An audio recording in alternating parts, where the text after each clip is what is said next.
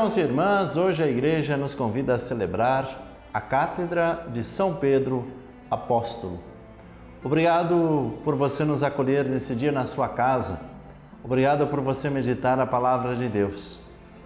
Quando nós nos dispomos a fazer a vontade de Deus, é Deus que age em nós, é Deus que vive em nós.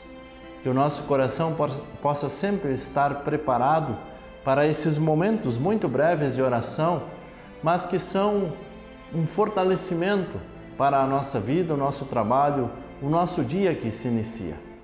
Obrigado a você que nos acompanha pela TV Evangelizar, você que nos acompanha pelo Facebook, YouTube e WhatsApp. Obrigado a você que também compartilha a palavra de Deus e a esse missionário que faz com que a palavra de Deus chegue a tantos e tantos que fazem parte da sua vida. Pegue a sua Bíblia e nós hoje vamos meditar o Evangelho de Mateus, capítulo 16, versículos 13 ao 19. O texto diz assim: Naquele tempo, Jesus foi à região de Cesareia de Filipe e ali perguntou aos seus discípulos: Quem dizem os homens ser o filho do homem? Eles responderam: Alguns dizem que é João Batista, outros que é Elias, outros ainda que é Jeremias ou alguns dos profetas. Então Jesus lhes perguntou: E vós, quem dizeis que eu sou? Simão Pedro respondeu: Tu és o Messias, o Filho do Deus vivo. Respondendo Jesus lhe disse: Feliz és tu, Simão, filho de Jonas, porque não foi um ser humano que te revelou isso, mas o meu Pai que está nos céus. Por isso eu te digo que tu és Pedro, e sobre esta pedra construirei a minha igreja, e o poder do inferno nunca poderá vencê-la. Eu te darei as chaves do reino dos céus. Tudo o que tu ligares na terra será ligado nos céus. Tudo o que tu desligares na terra será desligado nos céus. Palavra da salvação. Glória a vós, Senhor. Vamos juntos meditar a palavra deste dia.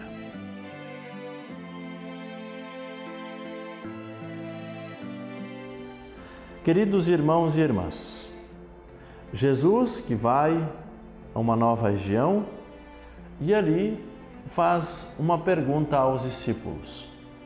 Naquele contexto em que eles estavam vivendo, quem diziam eles ser o filho do homem. E aí eles começam a responder. Uns dizem que é João Batista, outros que é Elias, outros ainda que é Jeremias ou um outro profeta. Depois desse levantamento de dados, Jesus faz a mesma pergunta a eles, diretamente a eles: E vós? Quem dizeis que eu sou? É importante nós nos dar conta que esse mesmo texto se repete por várias vezes ao longo do ano. Mas nós vemos que é necessário, de tempo em tempo, darmos uma resposta. Quem é Jesus para mim? Quem é Jesus para a tua família? Quem é Jesus quando você está trabalhando? Quem é Jesus na sua vida quando você está com os seus amigos? Quem sou eu para você? Diz Jesus. Pedro faz uma profissão de fé. Tu és o Messias, o Filho do Deus vivo. Veja que esta transição é importante nós fazermos.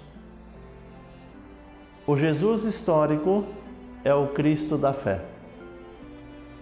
Aquele que estava convivendo com eles, esse Jesus histórico, Jesus que fazia história com eles, este é o Cristo de Deus, o Filho de Deus. E é assim que nós devemos olhar para Jesus Ele não é simplesmente mais um personagem da história. Ele é o nosso Salvador. Ele é o Cristo de Deus. Ele é o Messias, aquele que veio para nos salvar.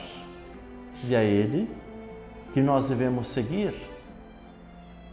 Não é só um companheiro de viagem, mas é aquele que veio para nos resgatar.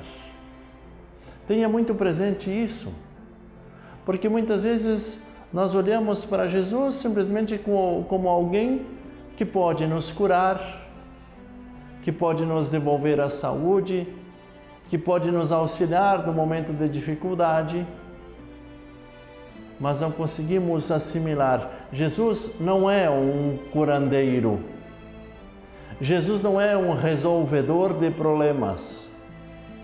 Jesus é aquele que veio para nos resgatar para sempre e nos colocar junto de Deus. Deixe-se resgatar por Ele.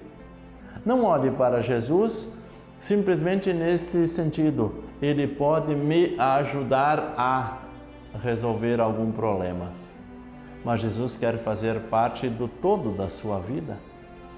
É nos momentos difíceis, sim, Jesus está mas e nos momentos alegres da sua vida, onde Ele está na sua vida? Precisamos compreender muito bem isso. Jesus, respondendo a Pedro, disse: Feliz és tu, Simão, filho de Jonas, porque não foi um ser humano que te revelou isso, mas meu Pai que está nos céus. Aqui algo que é importante. Tem coisas na nossa vida que não são revelados pelos seres humanos. Mas é nos momentos de oração, de intimidade com Deus, é que nós conhecemos o que é que Deus quer de nós. Então não é uma revelação humana, mas é uma revelação divina que temos esta experiência quando nós fazemos a nossa oração.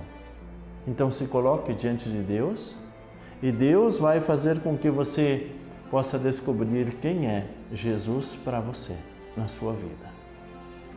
Que nós possamos hoje vivenciar bem cada instante, que nós possamos nos colocar na presença de Deus, apresentar para Deus a particularidade da nossa vida, na nossa casa e no nosso trabalho, e dizer: Senhor, Tu és o Cristo, Tu és o meu Salvador. O Senhor esteja convosco, Ele está no meio de nós. Deus Todo-Poderoso, por intercessão de nossa Mãe do Céu, a Virgem Maria, abençoe a cada um de vós, as vossas famílias e trabalhos, em nome do Pai, do Filho e do Espírito Santo. Amém. Fiquem todos com Deus. Até o próximo programa.